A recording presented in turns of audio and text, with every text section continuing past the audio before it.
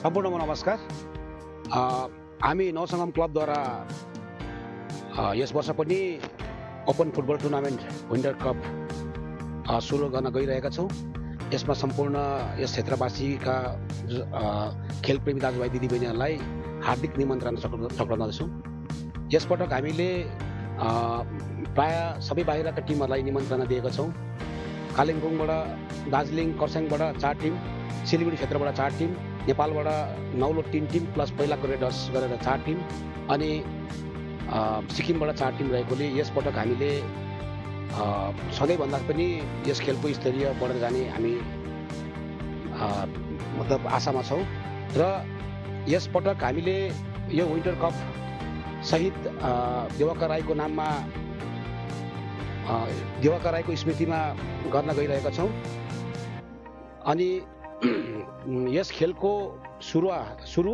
चार डिसेम्बर दुई हजार चार डिसेम्बर दुई हजार चौबिसको दिन र समापन फाइनल म्याच एकतिस डिसेम्बर दुई हजार चौबिसको दिन हुनेछ। र यस टिकि अ, यस खेलमा योपालि हामी नौसङ्गम क्लबद्वारा एउटा नौलो प्रयास गरिरहेका छौँ। इन्ट्री फी बिस रुपियाँ गरेर प्रत्येक दर्शकबिन्दहरूलाई उठाउने छौँ र त्यही टिकटमा हामीले प्रत्येक दिनै लट्रीको रूपमा केही राशि हामीले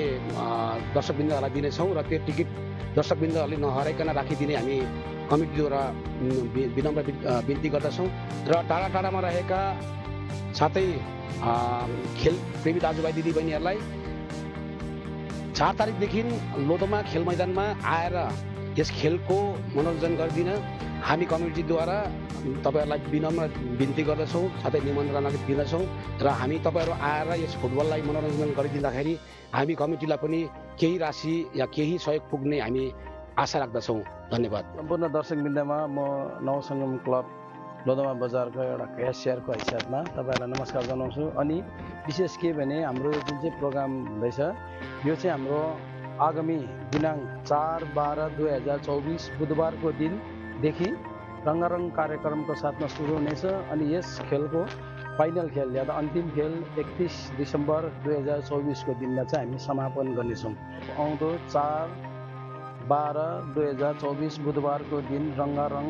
कार्यक्रमको साथमा सुरु हुने हामी सम्पूर्ण क्लबको सदस्यवर्गबाट तपाईँहरूमा आधिकारिक घोषणा गर्दछौँ।